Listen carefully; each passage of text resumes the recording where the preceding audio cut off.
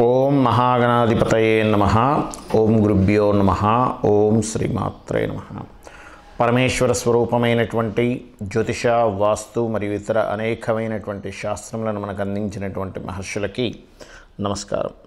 హయగ్రీవ హయగ్రీవ హయగ్రీవేతి యో వధేత్ నిస్సరతే వాణి జన్హుకన్యా ప్రవాహవత్. అరుణాం కరుణాతరంగితాక్షీం ధృతపాశాంకుశపుష్పబాణచాపాం అనిమాదిభిరావృతాం మయూకై. అహమిత్యేవ విభావయే భవానీం శ్రీమాత్రే నమ. ప్రేక్షకులకి ఆ లలితాంబిక అమ్మవారి యొక్క అనుగ్రహం పరిపూర్ణంగా కలగాలని మనస్ఫూర్తిగా కోరుకుంటూ మనం ఈరోజు చెప్పుకోబోయేటువంటి గ్రహ సంబంధించినటువంటి విషయాలు ఏమిటి అని చెప్పి చూసుకున్నట్లయితే మనకి ఫిబ్రవరి ఆరో తేదీ నుంచి జూన్ రెండవ తేదీ వరకు కుజుని యొక్క సంచారం ప్రత్యేకంగా కుజుడు ఫిబ్రవరి ఆరు నుంచి దాదాపుగా నలభై రోజులు అంటే మార్చి పదహారో తేదీ వరకు ఉచ్చస్థితిలో ఉంటాడు. అయితే ఇక్కడ ఏమిటంటే రవితో కలిసి ఉంటున్నాడు ఇక్కడ. దాని తర్వాత కుంభరాశిలోకి ప్రవేశించి మరొక నలభై రోజులు దాని తర్వాత మీనంలోకి ప్రవేశించి ఒక నలభై రోజులు చిల్లర. ఇలా మొత్తం మీద జూన్ రెండవ తేదీ వరకు ఒక నలభై రోజులు మకరంలో ఉచ్చస్థితిలోని మరొక నలభై రోజులు చిల్లర కుమ్మంలోని మరొక నలభై రోజులు చిల్లర దాదాపుగా మీనంలో అంటే ఎందుకంటే అన్ని రాసులు తిరుగుతుంటాడు కదా ఎందుకు మీరు ప్రత్యేకంగా కుమ్మంలో మీనంలో దాని గురించి ప్రత్యేకంగా చెప్తున్నారు అంటే ఎప్పుడైనా ఏదైనా ఒక గ్రహం తను ఉన్న స్థితి నుంచి తనున్న రాశి నుంచి ఏ రాసుల్లోకి ఎంటర్ అవుతూ ఏ గ్రహాలతో కలుస్తున్నప్పుడు ఎటువంటి పరిస్థితులు వస్తుంటాయి? అది జన్మ జాతక చక్రరీత్యా ఆ యొక్క లగ్నము లేదా రాసుల వారికి ఎటువంటి వస్తాయి? అదేవిధంగా గోచారంలో గ్రహాల యొక్క స్థితి ఎప్పుడైనా విరుద్ధమైనటువంటి రెండు గ్రహాలు కలుస్తున్నప్పుడు ఎటువంటి ఫలితాలు వస్తాయనేటువంటిది మనకి మైథుని జ్యోతిష్యము అనేటువంటి దాంట్లో చెప్పబడింది. కాబట్టి ఈ కాంబినేషన్ ఏదైతే ఉందో ఈ రెండు రెండు గ్రహాలు ఈ విరుద్ధమైనటువంటి ఎనర్జీస్ ఎప్పుడైతే కలుస్తాయో ఇవి భౌగోళికంగా ఎటువంటి పరిస్థితులను తెచ్చిపెడతాయనేటువంటిది కూడా ఆఖరిలో చెప్తాను.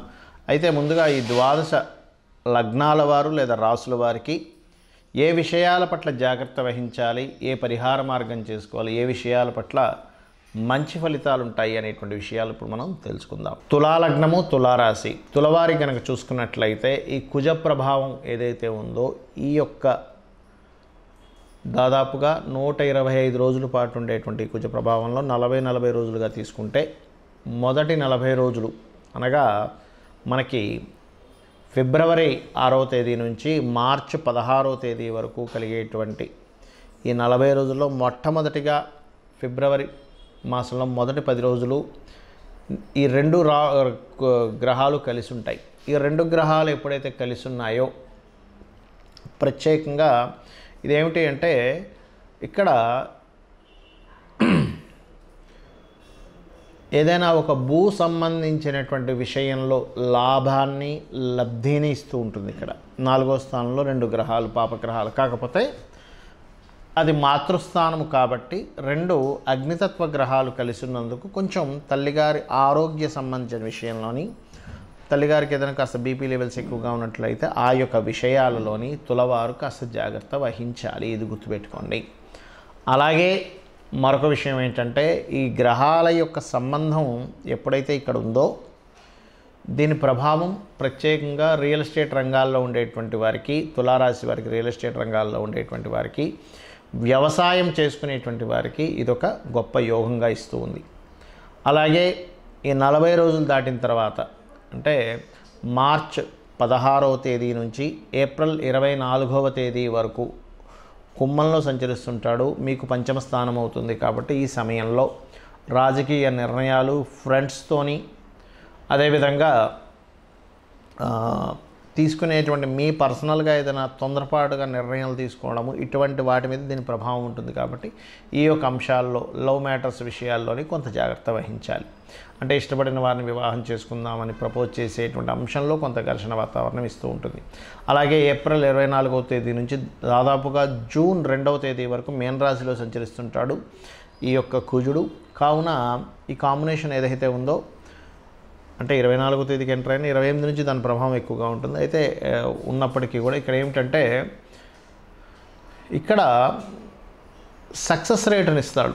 అంటే కోర్టు వ్యవహారాల్లో సక్సెస్ అవ్వడము కొన్ని కాంపిటీషన్గా కొన్ని చూడండి మనం ఒక్కోసారి ఏదైనా ఒక కనిపెడతాం దాని ఒక కాంపిటీషన్గా తీసుకొని తద్వారా మీకు లబ్ధి కలగడం లాంటివి ఇస్తాడు. అయితే ఓవరాల్గా ఈ కుజుడు ఉన్న స్థితి కానీ గురువు ఉన్న స్థితి ఎందుకంటే కుజరాశుల్లో గురువు ఉన్నాడు ఇక్కడ.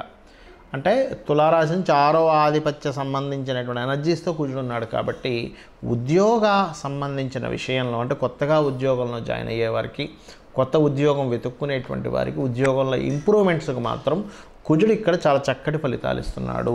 ఇక మీరు చేయవలసిన దేవత ఆరాధన ఏమిటి అని చెప్పి చూసుకున్నట్లయితే నవగ్రహాల్లో ముఖ్యంగా కుజ శని రవి మరియు రాహు ఈ నాలుగు గ్రహాల దగ్గర నేతితో కానీ నూనెతో కానీ దీపం వెలిగించండి.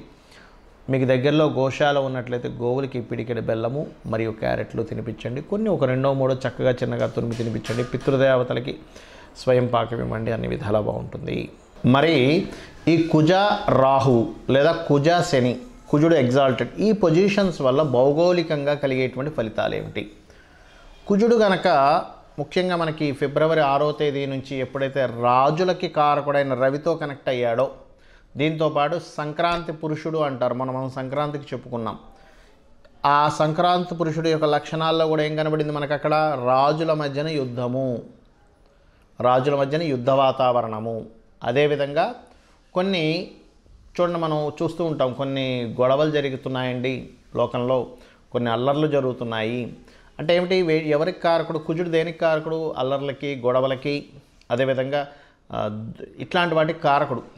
కాబట్టి ఈ అల్లర్లు గొడవలు జరగడానికి జూన్ రెండవ తేదీ వరకు ఈ కుజడి యొక్క ప్రయాణం ఏదైతే ఉందో మకరం నుంచి ముఖ్యంగా మకరంలో ఎంటర్ అయినప్పుడు ఏంటి? ఫిబ్రవరి ఆరు నుంచి కొంచెం మొన్న మనకి భూకంపం వచ్చింది. మరలా ఇంకోసారి భూకంపం రావడానికి ఛాన్సెస్ ఎక్కువగా ఉంటాయి. బికాజ్ ఆఫ్ భూతత్వ రాసుల్లో రెండు ఫైరీ ప్లానెట్స్ జరిగినప్పుడు భూకంపాలు అగ్ని ప్రమాద సంబంధించిన అంటే ఏంటి ఎక్కడైనా కొంచెం మనం ఎక్కువగా క్రౌడ్ ఉంది అక్కడ ఏదైనా అగ్ని ప్రమాదానికి సంబంధించిన జాగ్రత్తలు తీసుకోవాలని అర్థం. మనకి జ్యోతిష్ శాస్త్రంలో ముండెన్ ఆస్ట్రాలజీలు ఇవన్నీ ఎందుకు చెప్తారంటే ఈ యొక్క కండిషన్ ఈ గ్రహాల యొక్క స్థితి ఇలా ఉంది కాబట్టి ఆ ఎనర్జీ ఎక్కువగా ఉంటుంది.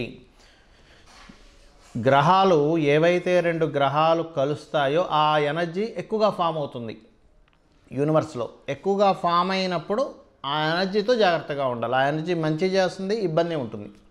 కాబట్టి పర్టికులర్గా ఫిబ్రవరి ఆరవ తేదీ నుంచి నలభై రోజుల పాటు అంటే మార్చి పదహారవ తేదీ వరకు భూమికి సంబంధించిన విషయంలోని రాజులకు సంబంధించిన విషయంలోని కొంచెం అంటే ఈ భూకంపాలు కావచ్చు రాజులకు సంబంధించిన విషయం అంటే గొడవలు కావచ్చు యుద్ధ సంబంధంగా ఆలోచనలు కలగడం కావచ్చు ఇవి ఎక్కువగా ఇస్తూ ఉంటుంది. ప్రత్యేకంగా. దానికంటే ముందు ఇచ్చినా సరే మనం ఆశ్చర్యపోవాల్సిన పని లేదు. ఎందుకంటే దాన్ని గ్రహాలు ధనుసు రాశిలో ఒక పదిహేను డిగ్రీలు ఎంటర్ అయిపోయిన తర్వాత వెంటనే దాని రిజల్ట్ ఇవ్వడం కూడా స్టార్ట్ అవుతుంది. కాబట్టి అది. అదేవిధంగా మరి ఈ కుంభరాశిలో కూడా శని ప్ర కుజుడు ప్రవేశిస్తున్నాడు శని దగ్గరికి. ఇక్కడ కూడా ఏంటంటే శని కుజులు ఇద్దరు కూడా విరుద్ధమైనటువంటి గ్రహ సంబంధం కాబట్టి కొద్దిగా ఈ నిగూఢంగా కొన్ని కొన్ని మనకు చూడండి మనం ఒక్కోసారి వింటూ ఉంటాం. ఏమంటే నిగూఢంగా సంథింగ్ వాళ్ళు ఒక ప్లాన్ చేశారు. అక్కడేదో ఏదో బయట బయటకు సంబంధించిన కొన్ని కొన్ని దేశాల వాళ్ళు ఇట్లా ప్లాన్ చేసి నిగూఢంగా కొన్ని బ్లాస్ట్లు చేశారు. మనకు చూడండి జల సంబంధించినటువంటి వాటిల్లో బ్లాస్ట్లు చేస్తూ ఉంటారు చూసారా? లేకపోతే ప్రకృతి వైపరీత్యంగా కూడా కొన్ని జల సంబంధమైన ప్రదేశాల్లో కూడా కొన్ని బ్లాస్ట్లు అవ్వడం లాంటివి చూస్తూ ఉంటాం.